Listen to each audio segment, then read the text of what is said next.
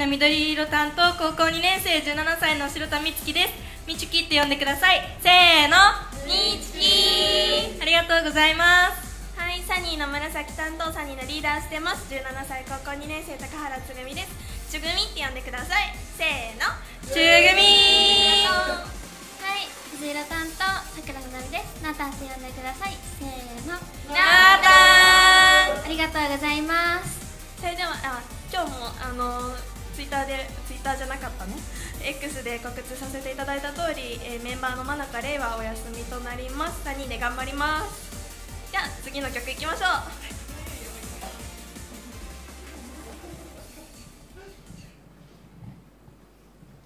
聴いてください。プロローグ。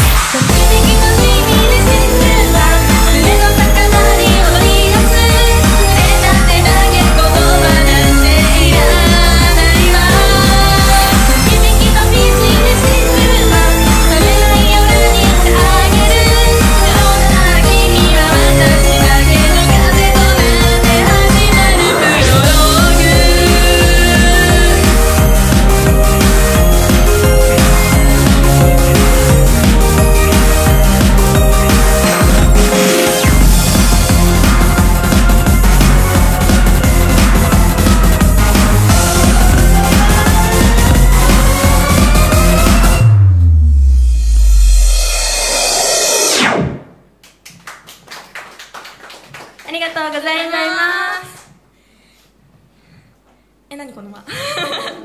すいません。えであの私たちまあ実はあの私とみつきがあのジェイドっていうこの後パフォーマンスするグループと兼任してるんですけどジェイドは結構バリバリ踊る方なんですけど あのぜひ次のステージも楽しみにしてもらえたら嬉しいんですけどでななみちゃんはですねあのサニーとしてデビューする前はストラスっていうあのなんだっけ研修生グループにあの所属しておりましてでそれで4人ですね。今日はいないんですけど4人あのレイレイはあのオーディションであのなんだろう。ちょっと待ってごめんね。そう浮かれてあの集められた4人なんですけどあの1年前はやっぱりそれぞれの活動をしてまして1年前12月28日にあの JADE っていうグループがデビューをしまして今年もその1周年えー1周年のパフォーマンスをさせていただくんですけど1年前ってさめちゃくちゃなんか「ラブハオパラダイス」って曲と「君だけのコリドー」って曲があのデビューする時にあったんですけどその曲をめっちゃ短時間で入れて大変大変だったんです「ラブハオパラダイス」って曲を2日で入れたんですよ振りを。そうめちゃくちゃ大変な時期で。でそんな時期から1年経って今こんな風になるなんて思ってなくて、でななみちゃんとかさあのその時は研修生だったわけじゃん、あのどんなレッスンとかしてたの？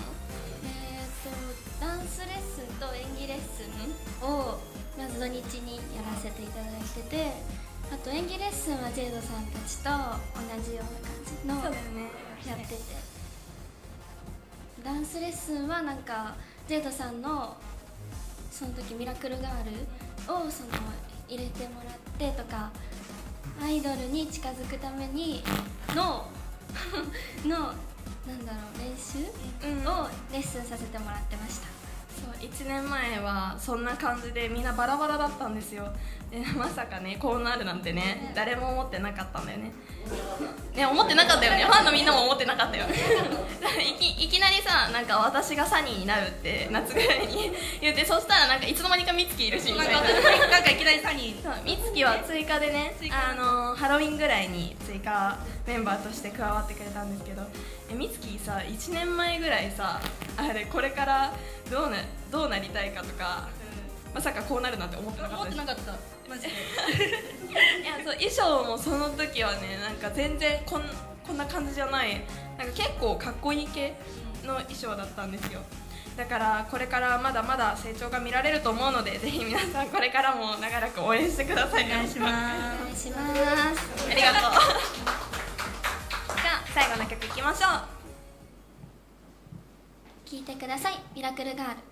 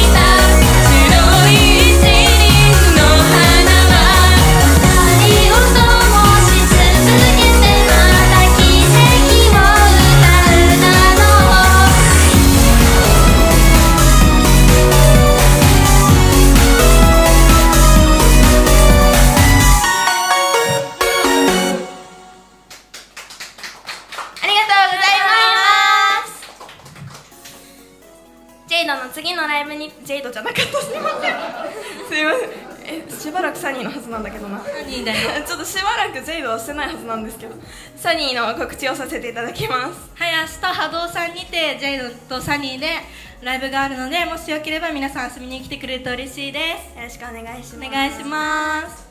はいそしてこの後ジェイドさんと合同特典会があります。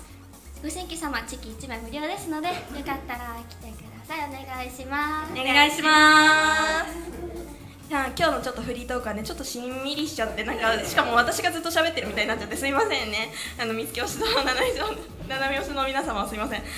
それでは以上私たちサニーでした。ありがとうございました